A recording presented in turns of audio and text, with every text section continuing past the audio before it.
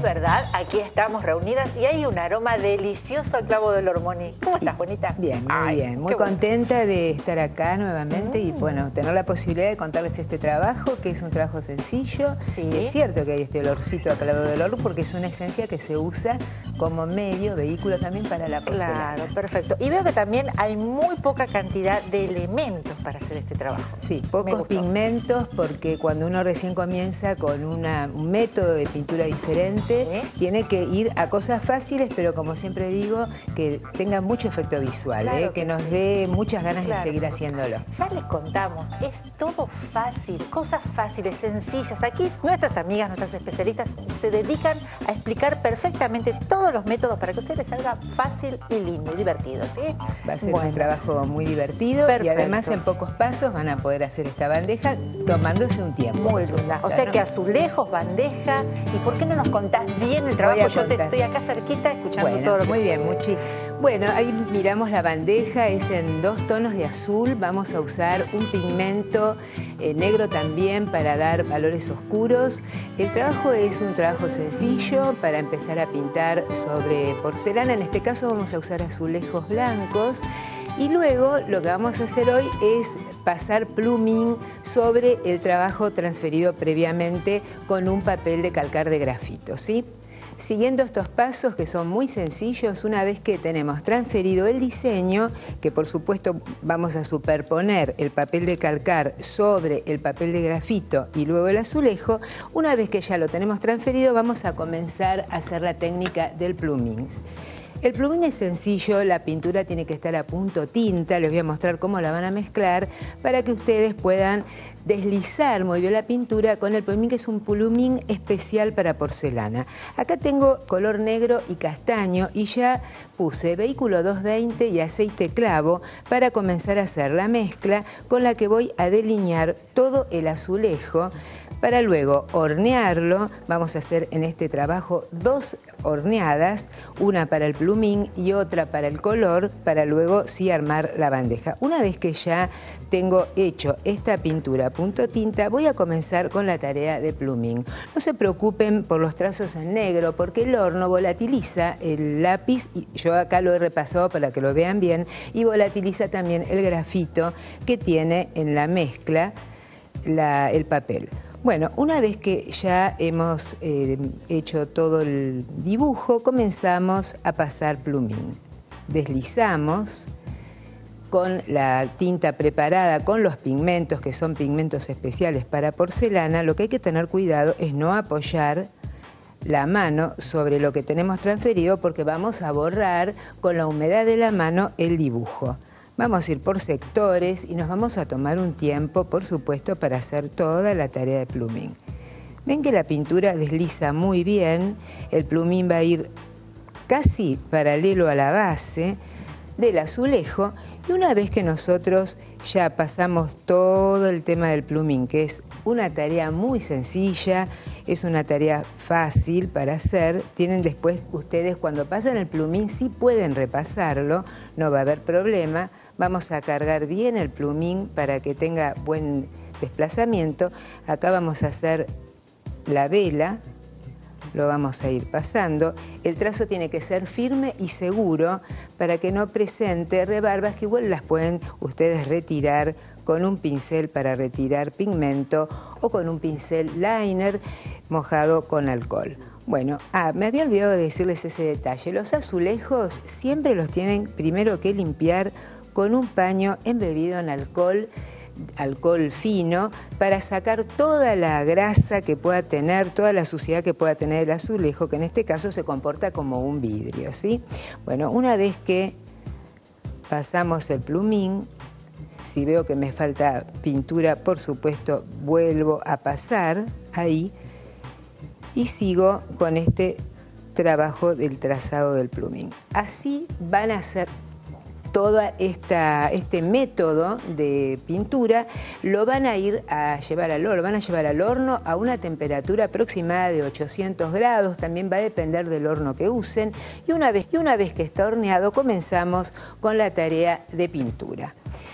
Este azulejo ya está el plumín horneado, no hay ningún problema y podemos comenzar a pintar.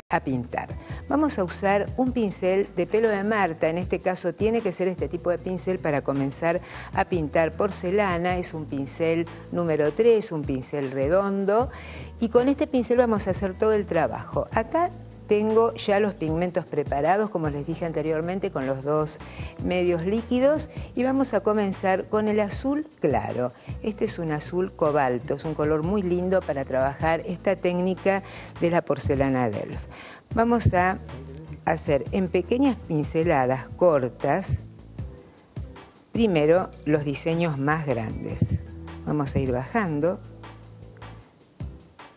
y vamos a ir subiendo con pincelada, siempre la pincelada corta. Así usan toda la carga que tiene el pincel de pintura.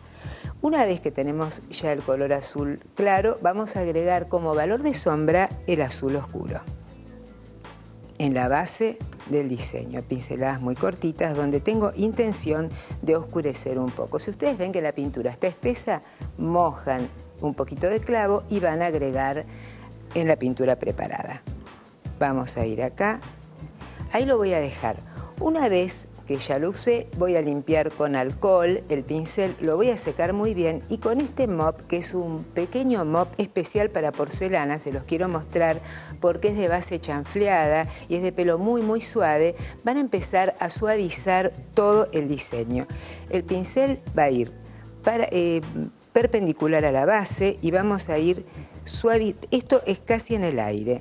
Vamos a ir retirando pintura desde el borde hacia el centro del diseño. Vamos a ir barriendo la pintura y logrando ya el efecto que yo estoy buscando. Limpio el pincel siempre en seco sobre la servilleta y vengo sobre el borde superior. Siempre es muy muy suave la pincelada, arrastrando color hacia el centro y que no me queden borbotones de pintura porque es ahí donde se podría saltar la pintura. Acá quiero más luz, entonces yo voy a usar el valor blanco del azulejo como luz del trabajo. Una vez que ya he pintado la vela, que por supuesto las dos las van a pintar igual, vamos a ir hacia acá y hacia acá. Vamos a sacar un poquito de acá vamos a hacer las nubes. Las nubes con el mismo pincel vamos a poner primero un poco de blanco en la base. Vamos a poner blanco por acá. Hay que tener mucho cuidado de no levantar con la mano lo que pintamos anteriormente, por eso siempre tienen que ir en sectores alternados, ¿eh? cuando pintan porcelana, porque no se puede retocar, tendrían que volver a pintar todo entonces vamos estirando la pintura. Acá vamos a hacer un color en azul claro. El plumín me ayuda para saber dónde voy con los colores. Voy así, voy poniendo pintura, estirando.